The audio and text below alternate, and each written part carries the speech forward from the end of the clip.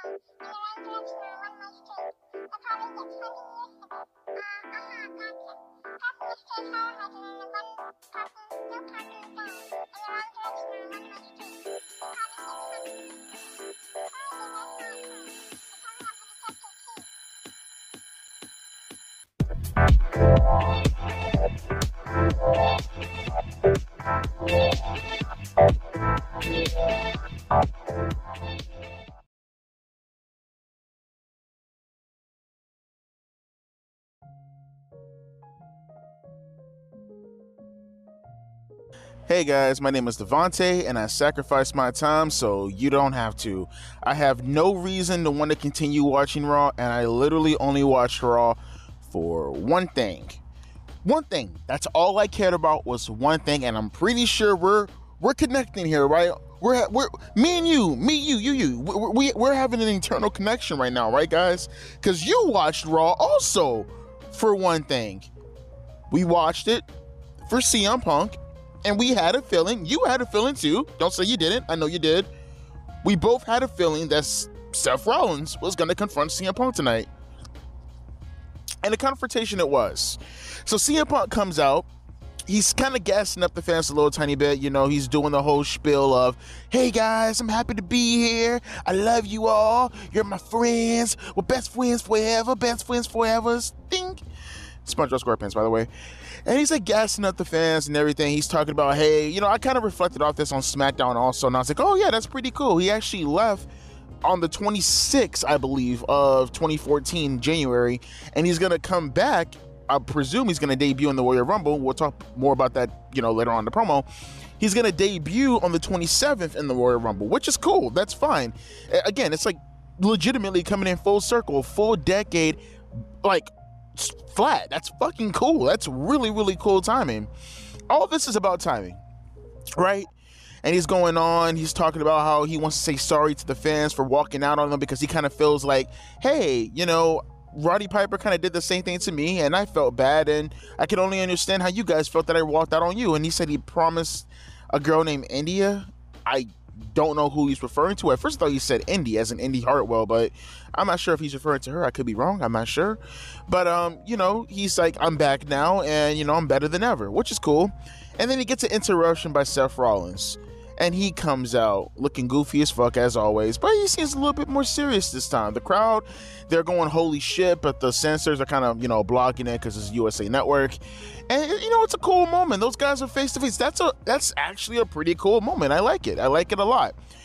And Seth Rollins, he kind of goes in the same diatribe as what you heard from Adam Page back in 2022. Like almost like word for word this well, I wouldn't say word for word, obviously, but like as far as, you know, verb um, rhetoric is considered, it's literally the same sentiments. You know, the whole I'm here to save WWE from you. Hopefully CM Punk doesn't take that seriously and goes on the media coverage and starts to shit on him but no, I mean, it, it is what it is. You know, like he, he literally said the same thing Adam Page said. I'm here to save the company from you. And, you know, if you happen to last longer than I expected you, because he, he actually says straight up that I hate you. Like he said it, I hate you. And he's like, if you happen to last longer than I expect you to last, because, you know, I don't expect you to last longer because the history of CM Punk has always been chaos and catastrophe. And, you know, I don't expect you to last a long time, essentially. And if you do last a long time by some miracle, I'll meet you in the ring and I'll out wrestle you and I'll show you who's the real best in the world. That's essentially what he's saying overall, right? And CM Punk gets the microphone and he says essentially, well, he did say at first, I, I kind of like that. He was like, that's the one pass you're gonna get for disrespecting me like that. Seriously, what's seriously CM Punk bug eyes? What is that? How are you so straight edge but look like the world's biggest crackhead is beyond me. I swear to God, it can't just be me, right? CM Punk looks like a straight up meth head. I, I don't understand. I mean, at least he's a little bit more like swole up compared to what he was back in AEW. But man, but but man, that face, holy hell, bro! It's like he's like he's like you know like in a goddamn drug house in a trap house or something. He just he wants to live there so he can stay close to his drug dealer. Holy fuck, the eyes are just popping out of his skull. Telling him, and he caught the con. but essentially, he was like, uh, I said essentially how many times now? But he's like, oh, you know, I'm gonna go into the Royal Rumble because I like to do things a difficult way. And when I get into the Royal Rumble, I'm gonna win the Royal Rumble. And Adam Pearce comes in the ring. Come in the ring, Adam Pearce. And he's like, oh, I'm gonna be in the Royal Rumble, and I'll see you then. And then he leaves. I don't know why he called Adam Pearce in the ring for it. It didn't really matter. He didn't really do anything. But yeah, that's what it is now. As we heard already on SmackDown, CM Punk is gonna enter the Royal Rumble, and well, we got our we got our little face off and hopefully there's more to come from this. My only thing is though, like, is that the path that they're gonna go into? It can't be that obvious when talking about the Royal Rumble, right? Like the sentiments that I'm getting from this is that CM Punk is declaring himself, but is it really gonna be that simple? Because I said this once and I'll say it again. You know they're gonna do Cody Rhodes and Roman Reigns on night two. You know that's gonna be the case. But is it going to be Cody who's going to win it via the Elimination Chamber or the Rumble? And if you actually have him in the Rumble, again, even if Cody doesn't win, you're really, really, really pushing it. I think you're honestly pushing it when it comes to the reaction to Cody Rhodes. If you put Cody Rhodes out there against CM Punk, they're going to boo Cody Rhodes. I hope they don't. I hope it's more like a yay, yay, yay with like some mixed reactions from each side of the crowd. But you know, it's CM Punk's, I presume, his debut in the ring, right? His re debut in the ring, his return in the ring, if you will. And it's like, do you really want to go down that path and putting Cody Rhodes in that situation? I don't think it's smart. I honestly don't think it's smart. And even further, because I will say this with Seth Rollins, it's a little bit more different. Like tonight, for an example, they were doing the whole CM Punk chants in spite of Seth Rollins, but at the same time, though, don't make don't get it twisted. It was more so aligned with the fact that they like going, whoa, whoa, whoa, has nothing to do with Seth Rollins and himself. You get what I'm trying to say? I fear for I made this video a couple of days ago and I joked around in it a lot, but and I heard someone say this in the comment section. I get where you're coming from. Someone in the comment section said something along the lines of, and I said this in the video also, if everybody sucks, that has nothing to do with CM Punk. CM Punk coming back they just need to get up on this level. And that's easier said than done because CM Punk has an actual relationship with the audience and they miss him. They they missed him. And you could be really any superstar in that situation from this era and you're going to be fucked no matter what you do. And do I think it's dangerous to put CM Punk in a match like this? Yes, I do. As at least for a Cody Rhodes because Cody Rhodes will main event if he wins it, whether or not he wins the Royal Rumble match or he wins the match at the Elimination Chamber, he's gonna main event against Roman Reigns on night two. And my thing is, do you really want to give him a title reign and he's gonna go into a situation where he's like the new John Cena? Now, hear me out when I say this, because I kind of thought they were going to go down this path when CM Punk brought Adam Pearce in the ring, and I kind of feel like they probably should have went down that path hear me out for a second. I know I'm going to get some disagreement with this, but I just mean, just for if for anything else, just to not harm Cody Rhodes. Let me ask you guys a question and give me some pushback if you want. But with that pushback, I would like an explanation as to why you don't agree with what I'm saying, which I can understand if you don't agree. I, can, I, I completely get it. But for Cody Rhodes' sake, should they have had the match at the Royal Rumble?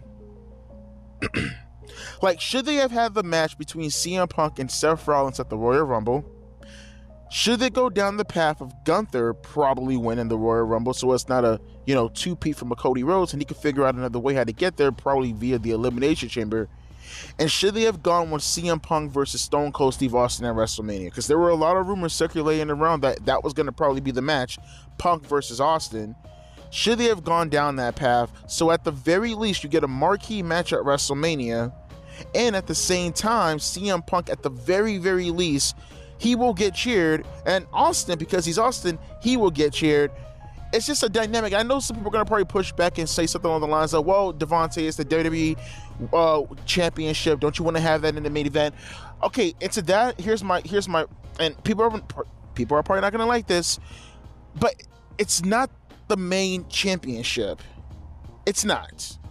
It's not because you know if you have CM Punk and Stone Cold Steve Austin, that's main event, and no doubt about it.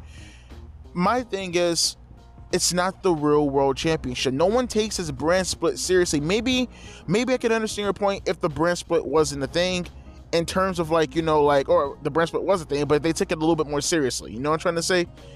And considering that, and that's my justification for that, then you have the WWE Championship with, with uh, Roman Reigns or the Universe Championship, or whatever the fuck they're calling it nowadays. You know that's going to be the main event, so just keep it at that.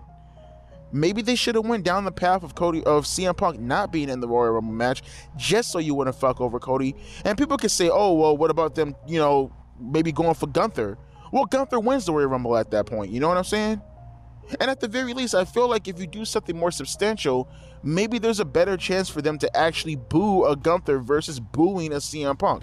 Because, like I said earlier, you can make an argument that even with CM Punk winning the match, do you really want to put Cody Rhodes in a position where fans see that and then that type of that type of reaction gets a trend?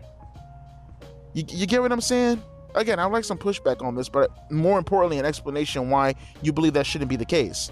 But otherwise, this was a pretty good promo. I liked it. You know, it was pretty minimalistic. They didn't give you a lot, but we got what we needed to get. We got the face off between Seth Rollins and CM Punk. We got CM Punk signing with Monday Night Raw. We got a pretty decent CM Punk announcement as far as him concluding that he's going to be in the Royal Rumble match. Even though he said it on SmackDown, now is actually conclusive. So they did their job. It was nice. Still better than that first promo CM Punk did. Not quite better than the SmackDown promo though. But again, we got the face off of him and Seth Rollins. And one more thing also.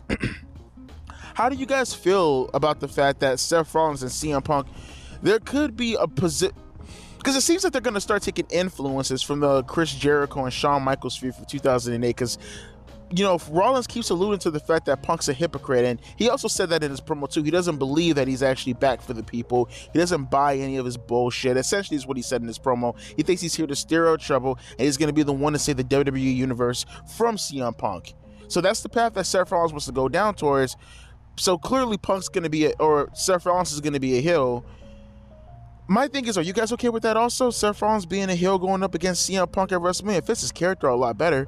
But then what happens afterwards? See, there's a lot of things that you have to talk about in regards to the situation with Punk and Rollins. And you know, get a conversation started in the comment section below, man. There are a lot of things that I feel that needs to be talked about going into this Royal Rumble.